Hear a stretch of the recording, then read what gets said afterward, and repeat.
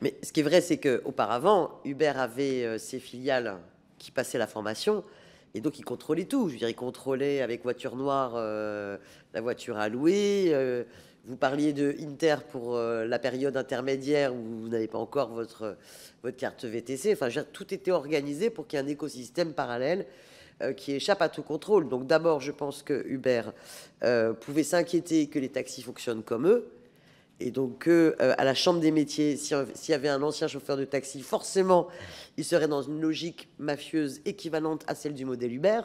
Enfin, mafieuse au sens vraiment un écosystème parallèle, quoi, hein, illégal.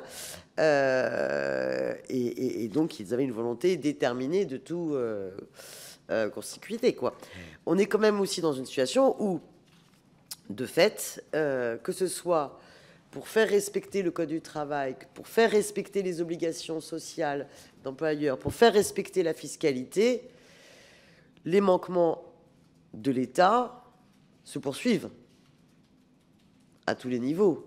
Et le modèle de l'ubérisation euh, s'est développé à plein d'autres secteurs euh, en partant du modèle Uber, sans être plus inquiété que cela. Donc il commence à y avoir des décisions de justice, certes, euh, mais selon vous, quand on voit l'ampleur euh, du développement de l'ubérisation, hein, ou euh, les derniers chiffres sur les créations d'entreprises, bon, en vérité, c'est une majorité de création de micro-entreprises.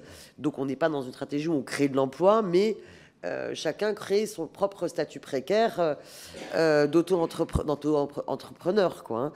Euh, donc euh, le, mythe du plein emploi à travers cette, voie-là est en train de s'effondrer face aux chiffres de la réalité. Mais en termes d'intérêt pour le, modèle capitaliste, de pouvoir se passer de code du travail, de pouvoir échapper à, la solidarité nationale fiscale et d'échapper aux obligations de la solidarité euh, sociale, ce modèle, il s'est bien étendu.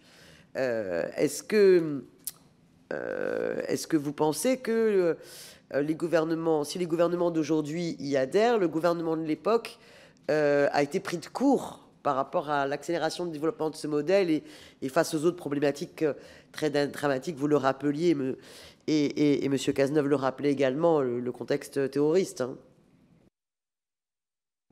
D'abord, nous sommes au début du, phénomène. il y avait quand même une conscience que la situation euh, pouvait, pouvait s'aggraver. En même temps, euh, euh, la réalité de dispositifs qui permettent la création d'entreprises mérite d'être soutenue. Je ne suis pas, moi, contre ce qui encourage les gens, y compris dans le ce que devait être le statut d'auto-entrepreneur au, départ. Le problème, c'est le détournement. Le problème, c'est le détournement général ou généralisé dans des professions. Euh, aujourd'hui qu'il y ait des, euh, euh, des moniteurs d'auto-école qui soient auto-entrepreneurs, ça me paraît quand même assez stupéfiant, mais c'est, vous l'avez dit, dans beaucoup de professions. C'est à ça, je crois qu'il faut garder ce qui peut être un objectif partagé sur la création d'entreprises avec l'utilisation de ce statut pour des gens qui veulent expérimenter telle ou telle idée ou telle ou telle passion. Mais ce n'est pas acceptable qu'on assiste comme ça, euh, spectateurs, les pouvoirs publics, une espèce de démembrement euh, général du Code du travail. D'autant que, bon, quel est le coût à la fin pour la société de tout ça en termes de perte de cotisation, en termes de situation sociale qu'il faut bien compenser par d'autres politiques, en termes de cohésion? Je suis euh, depuis toujours très interrogatif sur cette évolution. Merci, Monsieur le ministre, euh, et, les derniers points dont vous venez de parler font euh, partie à, part entière, euh, comme vous le savez, de notre commission d'enquête. Et effectivement, nous aurons à rendre des, recommandations et des conclusions sur cet aspect-là aussi, y compris sur les débats en cours sur la directive européenne, sur laquelle notamment nous aurons à euh, auditionner un certain nombre de ministres actuels euh, du, euh, du, gouvernement. Donc je vous, remercie de, vos propos et de vos analyses.